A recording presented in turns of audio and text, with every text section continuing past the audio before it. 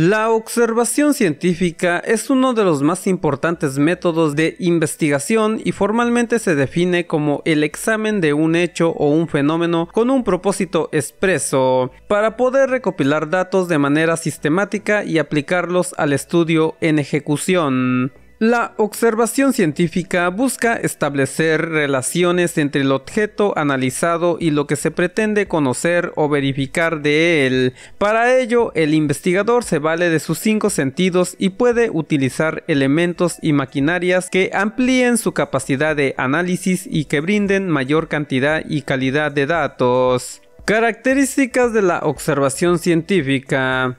Objetivo. La observación científica persigue siempre un objetivo en relación al estudio que enmarque su acción. A diferencia de otras observaciones, en la científica el investigador busca conocer parámetros, factores o datos específicos en un objeto previamente identificado. Planificación. La observación científica posee una planificación previa, no se da de manera espontánea, sino que se ejecuta con un control previo de las condiciones o bien con una preparación previa por parte del investigador. Esta planificación además responde a una metodología sistemática, pudiendo así reiterar la observación si fuera necesario. Registro. Otra característica de la observación científica es que sus resultados, observaciones o los datos recopilados pueden ser registrados sistemáticamente, ya sea de un modo cuantitativo o cualitativo explícito. Los resultados de la observación en general no solo son libres de interpretación, sino específicos y puntuales. Metodología controlada. La observación científica, al ser planificada, permite obtener datos y conocimientos válidos y fiables. En especial, las investigaciones realizadas en ambientes controlados, los fenómenos observados no variarán si se repite la observación y puede tomarse como válidos con solo una presentación en muchos temas de estudio tiene pasos y orden. Al ser planificada y tener una meta específica, la observación científica se realiza en pasos.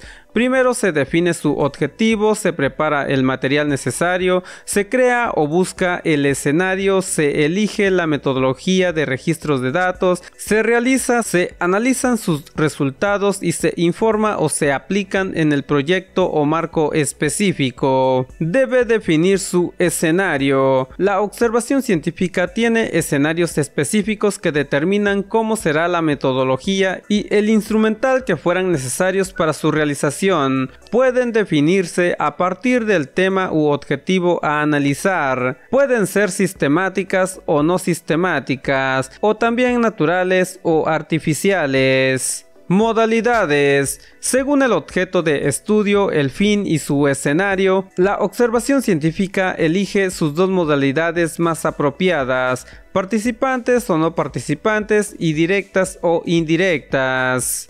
Limitaciones. Pese a su capacidad de eficiencia indiscutible, la observación científica también tiene limitaciones respecto a su alcance y posibilidades. Por ejemplo, no puede realizarse en poblaciones cuanticiosas o en marcos temporales demasiado extensos. No puede ser definitiva cuando evalúa organismos vivos o susceptibles a fenómenos no controlables en los ambientes naturales. Al realizarse por un investigador humano puede presentar fallos en cuanto a la interpretación de datos. En muchos casos los resultados no son evaluables ni cuantificables. En escenarios controlados, los resultados no siempre son aplicables a la tonalidad de los casos. La observación del desarrollo de células en un laboratorio puede no reflejarse en los organismos vivos. Ventajas.